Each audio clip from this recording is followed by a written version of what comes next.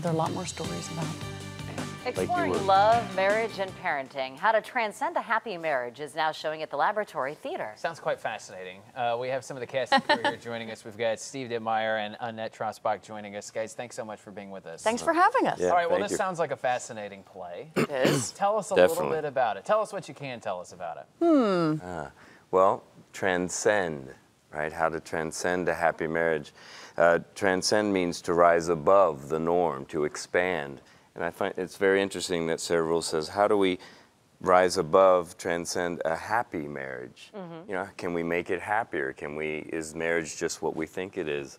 And so she asks all these questions about Yeah, a lot of people think marriage is the uh, the end of the freedom and the end of the exploration. Well, what if it's the beginning instead? Interesting. Uh, You, you deal with some very um, controversial or sensitive topics during the show. Sensitive, is that yes. the, the best way to put it?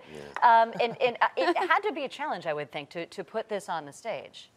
It is in a in a post Me Too world when we're really talking a lot about intimacy in the theater and consent in the theater. Um, it was. Uh, it was a challenge, and it was uh, dealt with very carefully. Uh, the intimacy in the show. There's some kissing. There's a that.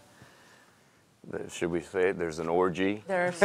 And I was yeah, going to say a group. I was like, it's a, it's a little early, Yeah, but but Uh, it's, not for us. uh, It's, it's you know how do you do things like that on stage where you know it's it's uh, it's done tastefully. It's Yeah. done in a, in the way that There's no nudity. the- no nudity, but There's you're nudity. but you you get the idea that an orgy happens or that that you know people kiss intimately and all these things like you're saying that mm. happen between them, and it's a real challenge how to how to how to stage that and make it work where you feel intimate about it, but mm-hmm. it's uh, and keeping the actors safe, Safe, and yeah. comfortable and Sure. Uh, yeah. yeah. Is How it- has been the, the response been so far to, from the audience? We just had a preview last night, Oh, so we're opening tonight. oh, very Yes, good. yeah. So we'll see. Yeah. But uh, lots of laughter last Yeah, night. it's- It was really well lot- lot received. more, f- it's funnier than we even, you know, expected it to be. It's, Yeah. it's yeah, it's really good. So great. it does have comedic tones. Oh yeah. Oh, it's a comedy. certainly. Yeah, absolutely. Is it also an exploration of motherhood?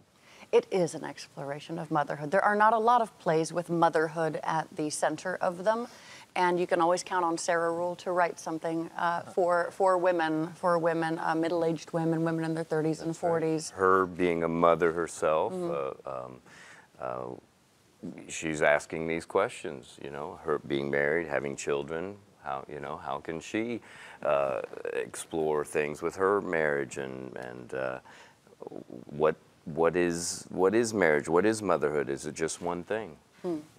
Hmm. Tell us a little bit about the Laboratory Theater, if, if our audience hasn't been there yet or had the opportunity to experience it.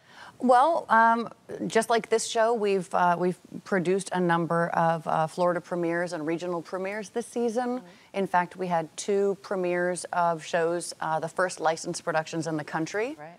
This season, and we're looking forward to more of those. So, we're trying to produce new work that's not been seen down here, give our audiences something new to experience.